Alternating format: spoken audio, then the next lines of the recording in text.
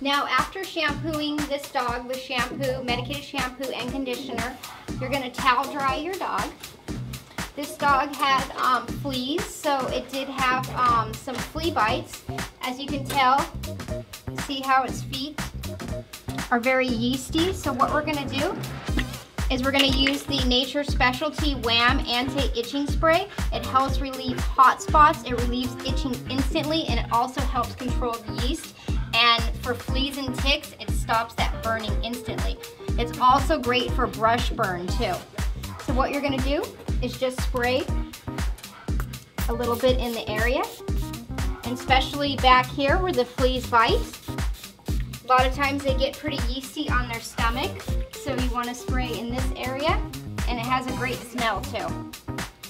And by the way, it's an alternative to pesticides.